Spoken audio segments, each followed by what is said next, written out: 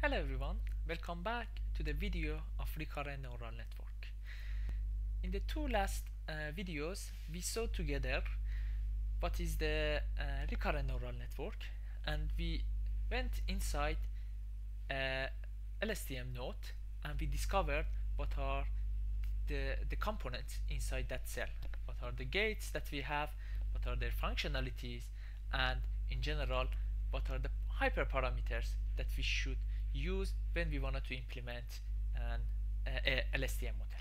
Okay, so now in this video I will talk more about application uh, for, for LSTM. In the last video we saw, we saw together that we can use it for a text. Okay, so when we have a series of words to do the, some, some prediction. We can use the LSTM in other uh, domains like for example uh, for um, action recognition when we are when we have a series of frames or in, we can call it movie to predict some actions. Okay. The next uh, application can be used here in digital plant phenotyping. When we have a biological questions uh, question of detect timing of kinetic of ontol uh, ontological development stage of plants at seedling level what does it mean it means that we have different stage of, of the growth of plants. So from the appearance, uh, appearance of the of the cotyledon to opening of the cotyledon and then first leaf, second leaf, third leaf and so on. Okay, so from the computer uh, vision point of view, this is the classification uh, uh problem.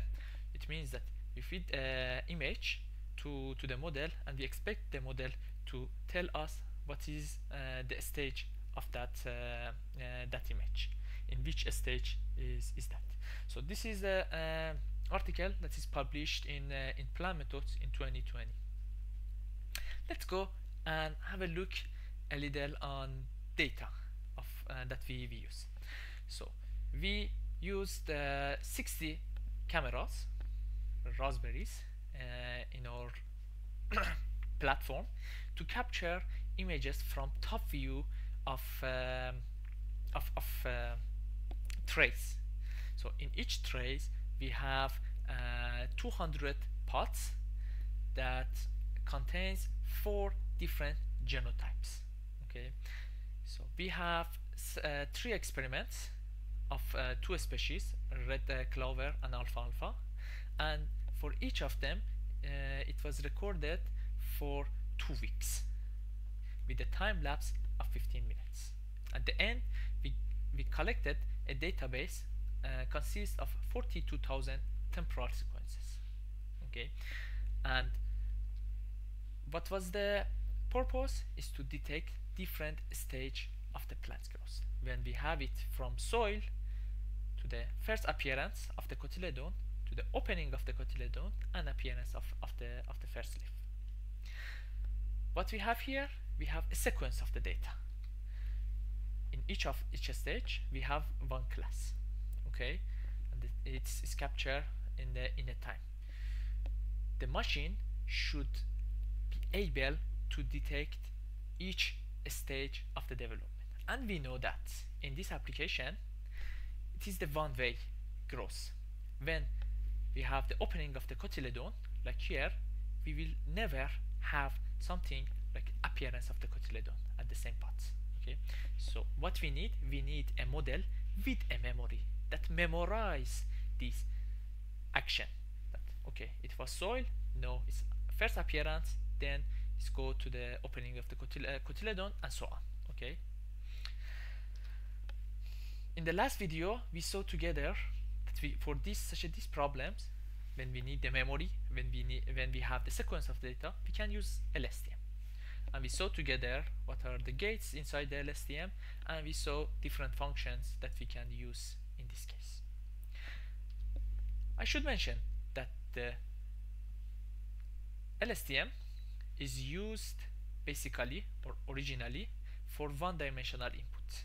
Okay, when we have images, we have 2D or two-dimensional uh, data in that case either we should use convolutional LSTM that we call it conv LSTM or we can use a model to extract features from our uh, our images and then feed it to the to the LSTM that we call it CNN LSTM this is the method that is used in this in this article.